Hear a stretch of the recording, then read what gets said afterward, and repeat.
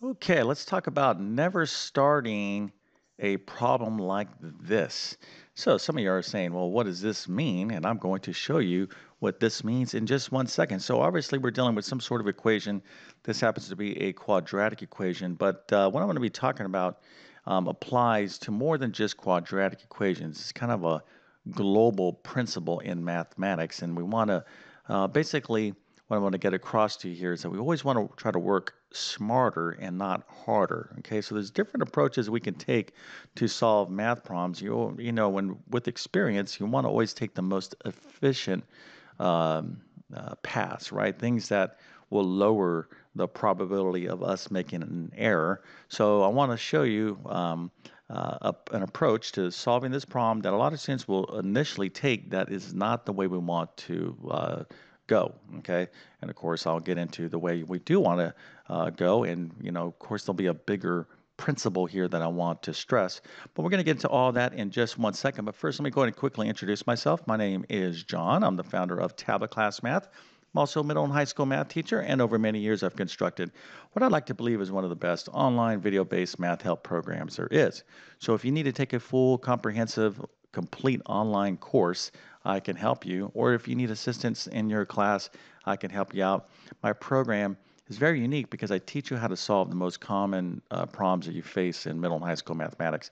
I literally have thousands of problems, all video based, very detailed explanations on how to solve problems. Nothing's more uh, frustrating than getting a bunch of problems and getting some answer key and not knowing how the solution was derived.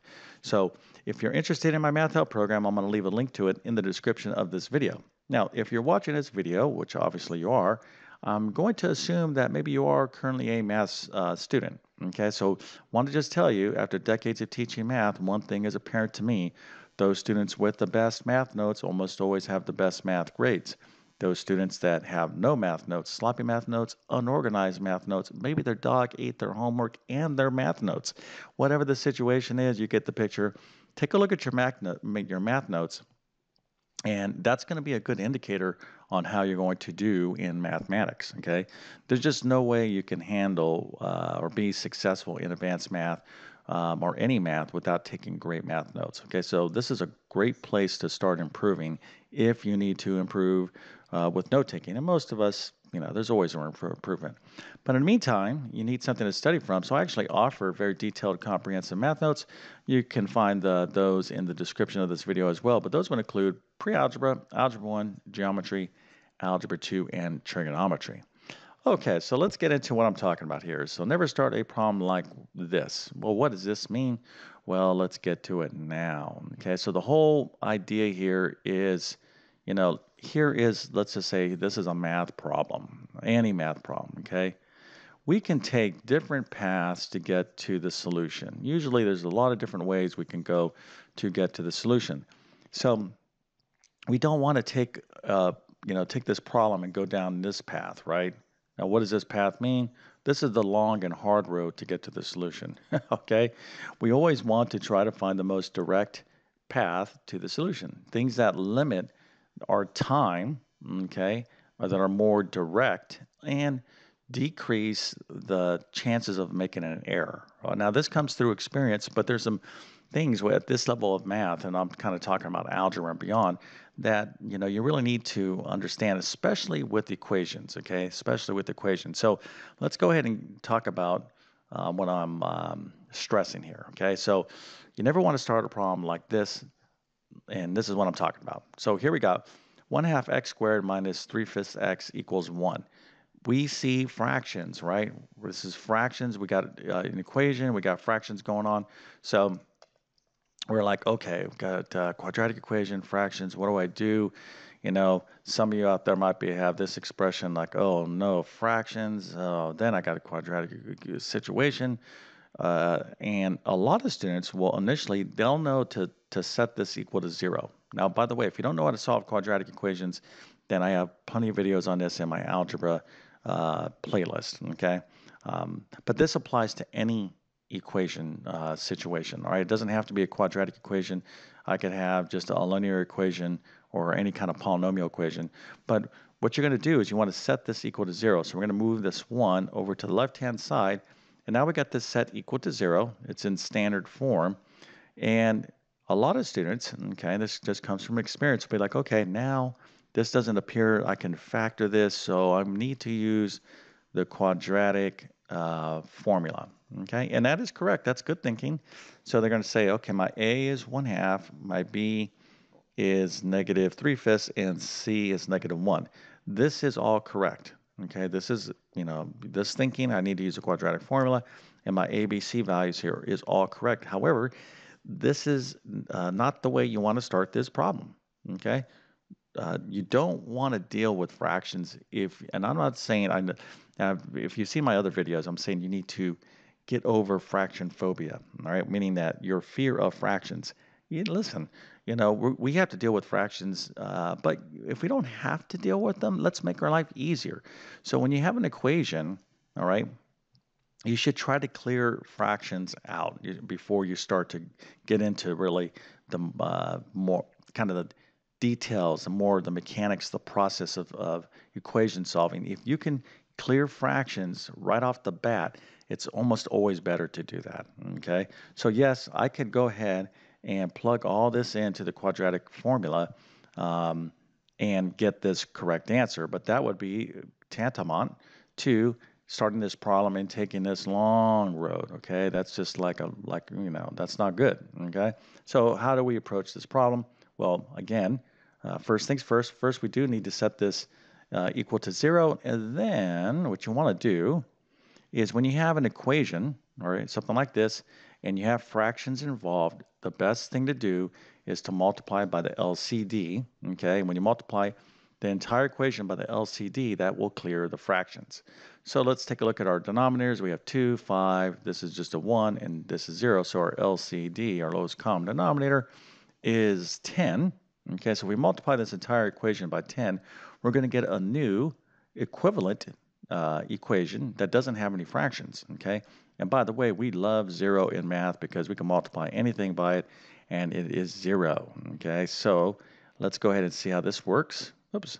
All right, so here's our LCD. We're going to multiply everything in the equation by our LCD. So 10 times 1 half gives me 5x squared. Beautiful. Okay, so I'm multiplying this way, multiplying this way, this way, and this way. So 10 times uh, negative 3 fifths gives me 6x, okay, or, or 6, okay, or 6x because we have that uh, variable. And then 10 times negative 1 is, of course, uh, 10, or negative 10 and then 10 times 0 is 0. Okay, so now this equation here, if we solve this equation, this is equivalent to solving this equation. Okay, which one would you rather do? Obviously, I don't want to do this one because I'm going to try to avoid fractions because I already know in the quadratic formula, I got a lot of moving parts here. I got a lot of plugging in and, you know, I got to, you know, do a lot of number crunching. So you want to avoid fractions, you know, uh, for that reason. That's not you know, uh, you're not being what's the word?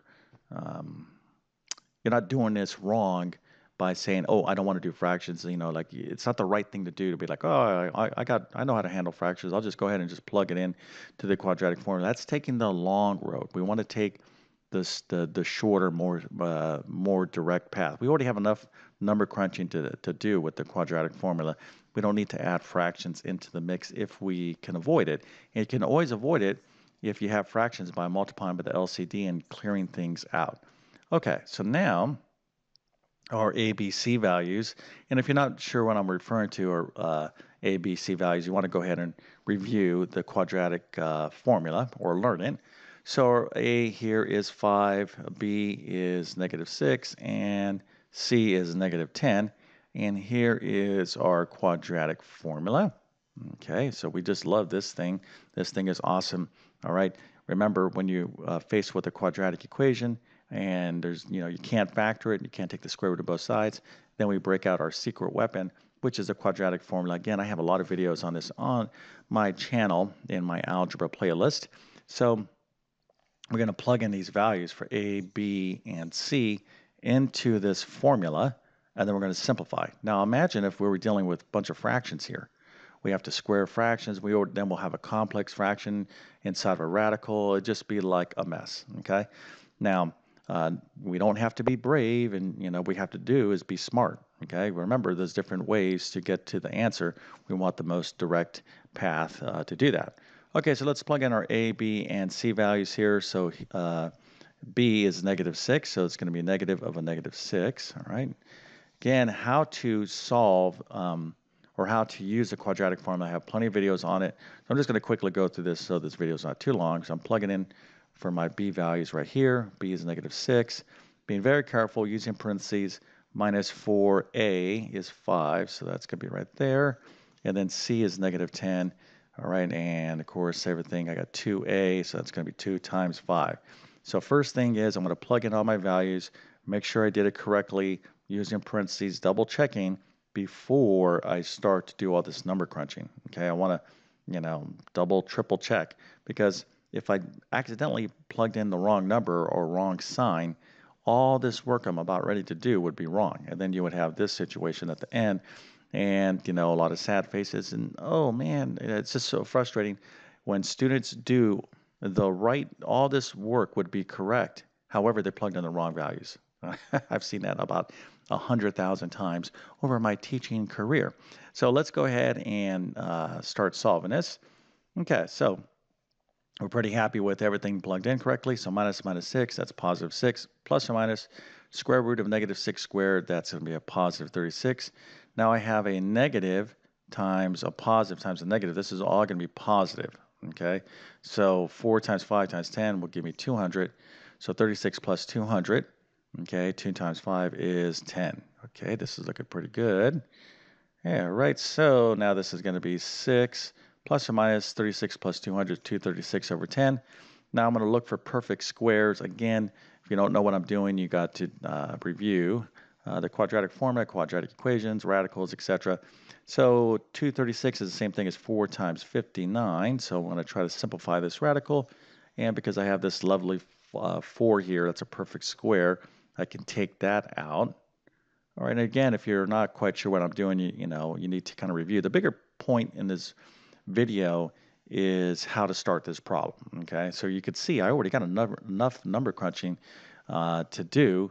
Um, and imagine if we were using fractions here, right? It would just be crazy. All right, so I got uh, square root of 4 times 59. I could take this out as a 2, so I have 6 plus or minus 2 uh, times square root of 59 over 10. I can factor out a 2. Okay, cross cancel. Again, I'm not going to try to overly explain this, try to teach too much, but this is my final answer. Okay, so we could get to the same answer uh, using uh, the quadratic equation with these values. Okay, we could have uh, done it. All right, but why? You know, why go through all that extra, you know, um, you know, pain, if you will? and I'll be, you know, honest with you. Look, listen, you know, it's not you know, it's not smart, okay? Especially like if you're taking a test or a quiz, you need you're you're under time pressure, right? You need to be able to do things in the most efficient manner. So don't, you know, uh, forget when you're faced with an equation. If you see an equation and you got fractions, all right, that's a perfect opportunity to simplify by multiplying by the LCD. Okay, it's a great technique, and uh, almost it's almost always the right thing to do. Okay.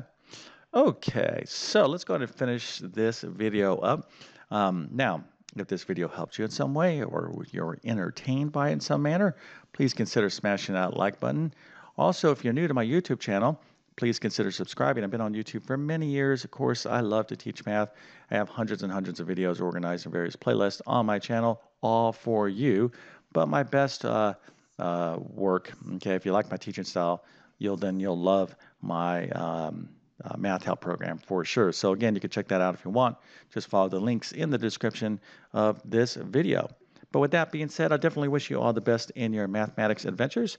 Thank you for your time and have a great day.